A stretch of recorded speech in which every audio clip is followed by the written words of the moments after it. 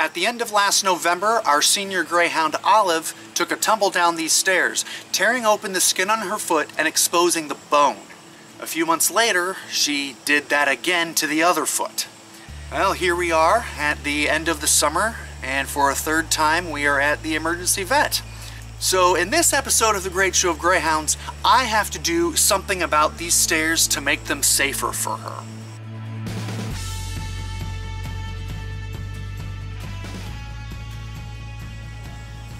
As Olive is now approaching 13 years old, she just isn't as steady on her feet as she used to be.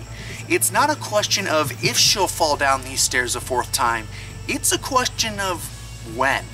So after she got hurt the last time, we began guiding her down the stairs slowly so that she wouldn't lose her footing. But as time went on, we just kind of stopped doing that. The real issue is that the edges of these stairs are just a little sharp if you're falling down them. To remedy this, I've gone to the hardware store to look for anything at all that can be used for padding to go over the edge of the stair, and I think I found it in the form of foam rubber pipe insulation.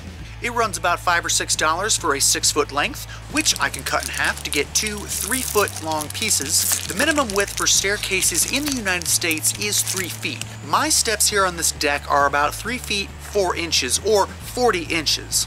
As you can see with my air conditioner unit, the pipe insulation wraps all the way around the pipe connected to my house. I don't need that much coverage over the edge of each step, so I can cut this down the center so that I waste less material while covering more steps. This pipe insulation has an adhesive side so that when you're wrapping around a pipe, you can seal it together. That is not going to be enough to adhere it to these steps, so I'm gonna be using the staple gun instead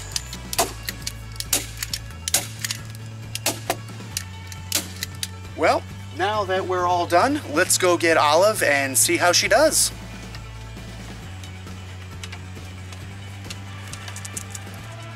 It's been a few weeks and now we're into October and I would not really classify this as a success. The foam rubber material that the pipe insulation is made out of is just too soft and the staples are tearing right through it.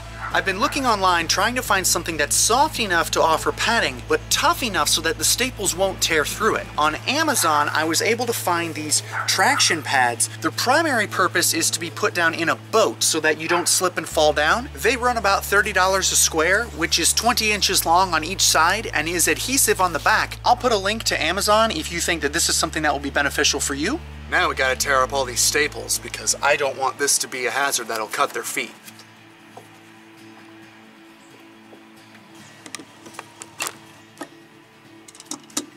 Okay, I have cut this all into strips. I'm going to adhere it to the edge of the bottom three steps. If this works out, I'll get another $30 square to put on the top three steps. In the end, I'm gonna be about $60 into this project, which is considerably cheaper than the $600 it costs to take Olive to the emergency vet a fourth time.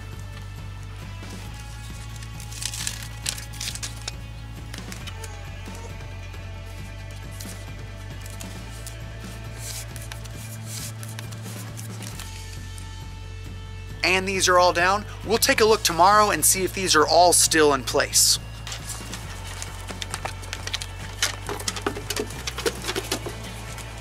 Okay, well, this didn't even last one day. I don't think the adhesive properties of this traction pad stick very well to wood, so we're gonna use the staple gun and hope that it doesn't tear through. This material, while soft, is much more dense, so I'm hopeful.